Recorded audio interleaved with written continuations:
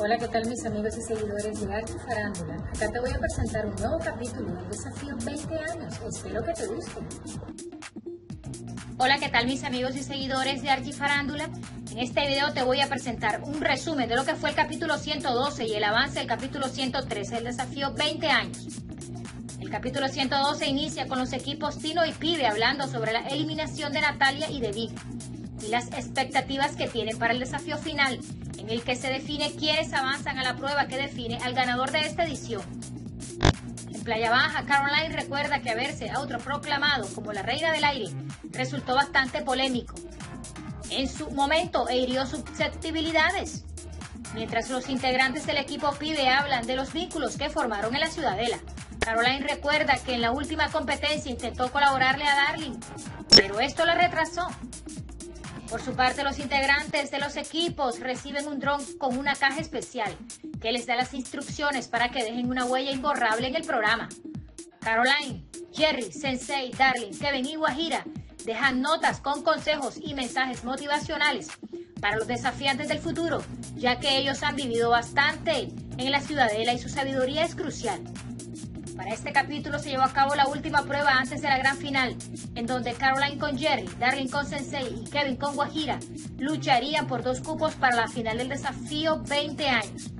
La prueba se realizaría en el box amarillo. Recordemos que ahí se juegan las pruebas estilo militar. Fue una prueba demasiado exigente que para ganarla se requirió fuerza, agilidad y mucha resistencia. Los ganadores de la prueba fueron Kevin con Guajira y Darling con Sensei. Lamentablemente, Caroline con Jerry salieron eliminados a las puertas de la final. Los finalistas del desafío 20 años son Guajira con Kevin y Darling con Sensei. Para esta base, el capítulo 113. Como todos sabemos, el desafío 20 años está en su recta final y los televidentes viven cada capítulo con gran emoción y expectativa, alentando a sus favoritos. Los finalistas de la edición, Kevin y Darling, han demostrado su habilidad y destreza en las competencias, acompañados por sus refuerzos Guajira y Sensei.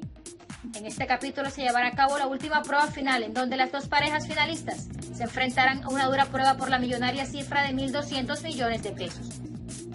Inicialmente, como en anteriores ediciones, dos personas, un hombre y una mujer, serían los ganadores de 400 millones de pesos, pero todo cambió en la última etapa del juego, y ante una nueva propuesta de Andrea Cerda y aceptada por los participantes, Colombia se prepara para tener un solo ganador con un jugoso premio de 1.200 millones de pesos. Como todos sabemos, Natalia y Vi se despidieron del reality más visto de la televisión colombiana y emprendieron diferentes caminos después de una larga jornada de competencia. En redes sociales solo se habla de la final y de Kevin como favorito de esta temporada. No obstante, resaltan las cualidades de la dupla conformada por Darling y Sensei.